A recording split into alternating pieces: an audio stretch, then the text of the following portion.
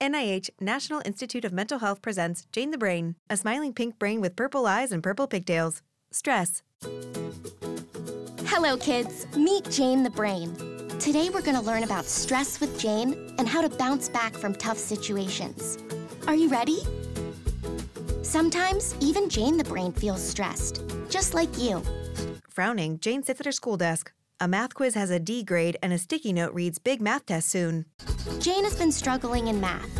And with a big test coming up, she's nervous. She wants to do well and is scared she might disappoint her parents.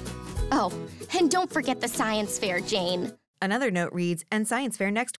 In each hand, Jane holds stacks of books, other school items, and the words math test and science fair.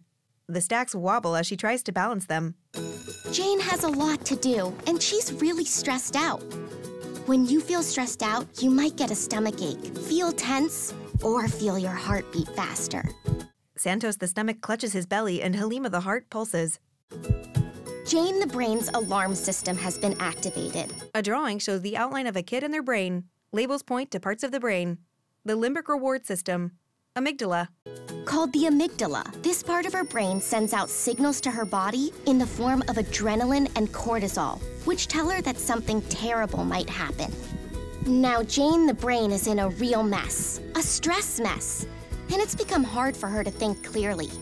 But there are ways to handle stress. Don't worry, Jane. First, take deep breaths. Called box breathing. Watch how Jane takes a slow breath in and out holding a couple of seconds before repeating.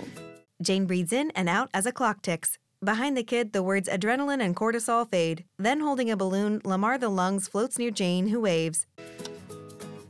Jane can also talk to a trusted friend or adult and get help making a plan.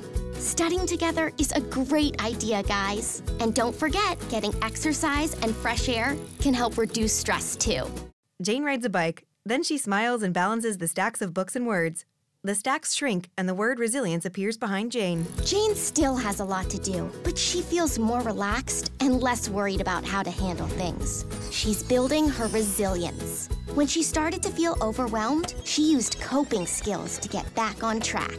She took deep breaths, made a plan to get her work done, and got some exercise. Coping skills take practice, but you can become more resilient like Jane, too. Grinning, Jane holds up her math test. It has an A grade on it. A first place ribbon hangs on her science fair project.